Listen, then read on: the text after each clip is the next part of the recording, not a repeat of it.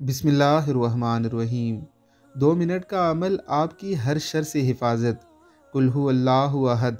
सुरह अखलास और मऊज़ातेन, यानी सुरह फलक और सुरह नास। सुबह और शाम तीन तीन मरतबा पढ़ लो। हर शर से महफूज रहोगे। यानी कुल्हु अल्लाह अहद।